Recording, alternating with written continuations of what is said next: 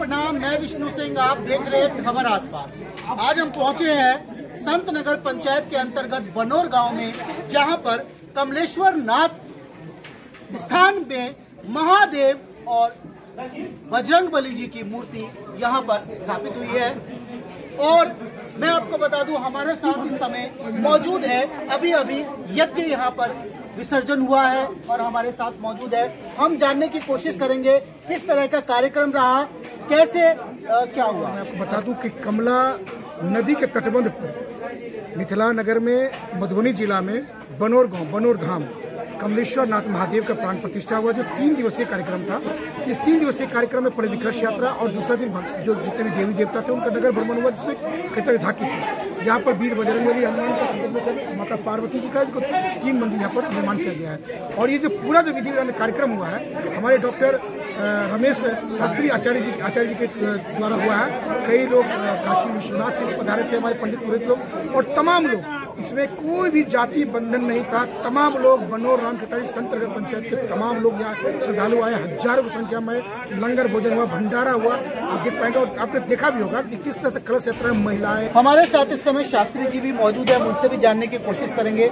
सबसे पहले तो आपका खबर आसपास में बहुत स्वागत है। एक सुदूर एरिया में, देहात एरिया में आपने इस तरह का कार्यक्रम यहाँ पर हुआ। आप यहाँ पर समय निकाल के लिए आए, इसके लिए ग्रामीण आपके लिए बहुत आभारी है। क्या कहना हर हर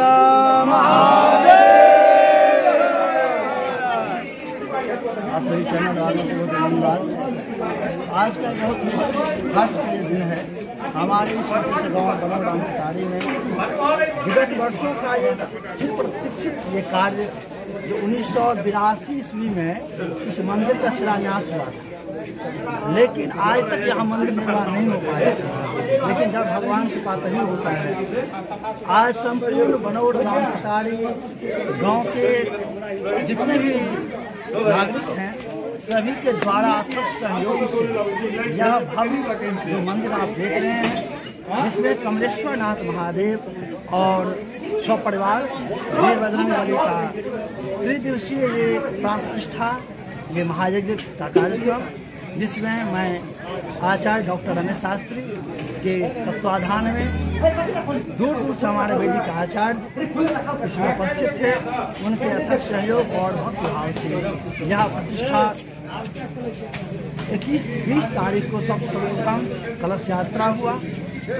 तत्पश्चात वेदी निर्माण, पूजन कार्यक्रम, कल पूरे दिन भर भगवान को जलाधिवास अन्नाधिवास पुष्पाधिवास सज्जाधिवास सब अलग अलग प्रकार से किया गया। और विशाल शोभा यात्रा कल करीब पाँच सात गाँव में लगभग सत्रह अठारह किलोमीटर का यह क्षेत्र में यह शोभा यात्रा निकाला गया। आज सुबह प्रातः समय से ये तीन दिवसीय कार्यक्रम था और गाँव के लोगों में काफ़ी हर्षोल्लास हुआ। आप गाँव के लोगों के लिए क्या कहते हैं? ये गाँव में शिव शंकर भगवान की जो आस्था, भविष्य बयासी ईस्वी से वह आज जाकर सपना साकार हुआ। इसमें सभी जात, पात, बंधन से मुक्त होकर के जितने हमारे गाँव के समाज इसमें सम्मिलित हुए, बच्चे, बूढ़े, नर, नारी, सभी समय आग्रह करता हूँ जो पूरे बाबा भोलेनाथ संपूर्ण गाँव की और आसपास के नगर के जितने लोग इसमें भाग लिए हैं, जो भाग नहीं लिए हैं, जो ऑनलाइन के माध्यम से सोशल मीडिया में देख रहे थे भगवान सबका कल्याण करें, सबको प्रदान करें ऐसे ही हर्षोल्लास से बाबा का सब लोग पूजन करें और अपने मानव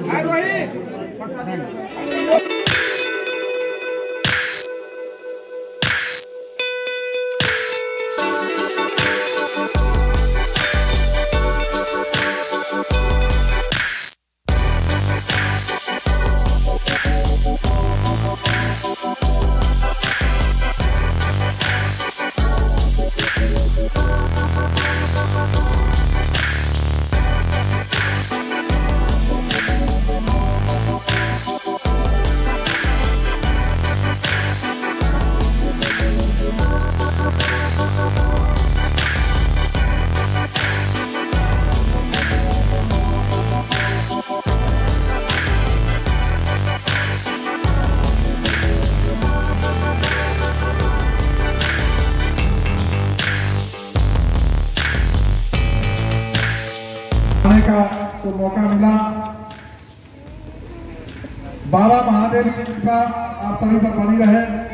यहाँ उपस्थित हमारे मित्र शंकर जी, उपस्थित सुजीत जी एवं आयोजन समिति के जितने भी सदस्यगण हैं, उनका बंधु, बच्चे लोग, मित्रगण और झंझारपुर लोकसभा के जितने भी देवतुल्य मतदाता गण हैं, मैं उसको बहुत बहुत बधाई, शुभकामना देता हूँ।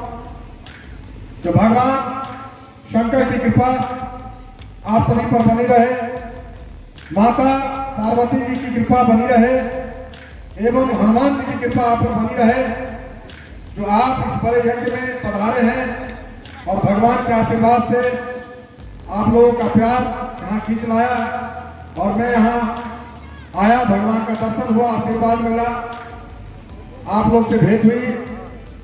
मैं बहुत बहुत धन्यवाद देता हूँ कि पिछले वर्ष भी जो यहाँ यज्ञ का आयोजन हुआ था श्री राम महायज्ञ का, उसमें भी आने का सौभाग्य मिला। मैं एक बार फिर आप सभी को धन्यवाद, शुभकामनाओं के साथ दो लाइन का भजन है।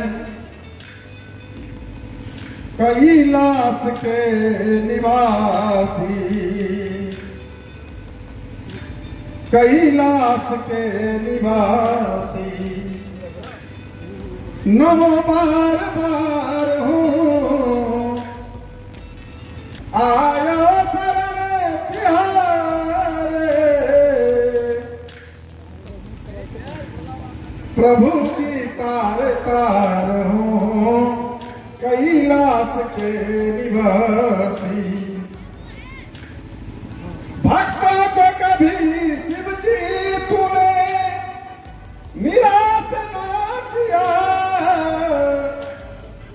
मांगा जिसे जो चाह वरदान दे दिया।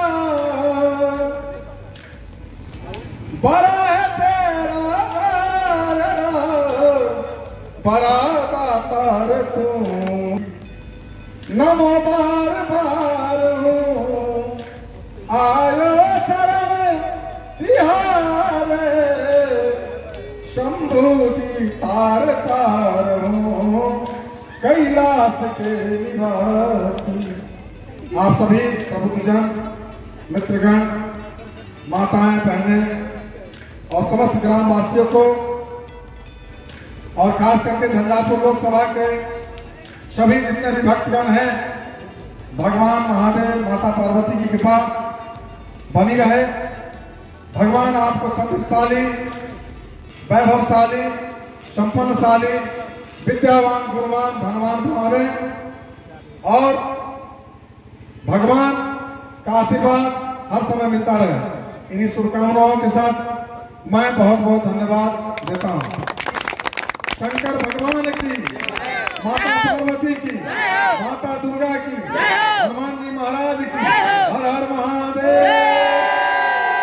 उम्मीद करता हूँ मित्रों, इस तरह के वीडियो को आप लाइक करेंगे शेयर करेंगे कमेंट करेंगे। हम इस तरह की जानकारी आपको लगातार दिखाते रहते हैं। इसके लिए आप हमारे यूट्यूब चैनल खबर आसपास को सब्सक्राइब कर सकते हैं। यदि आप फेसबुक पर है तो आप इसके लिए हमारे फेसबुक पेज खबर आसपास को फॉलो भी कर सकते हैं। इस तरह की जानकारी के साथ फिर मिलते हैं अगले वीडियो में। तब तक दीजिए इजाज़त। जय हिंद, जय भारत, जय बिहार।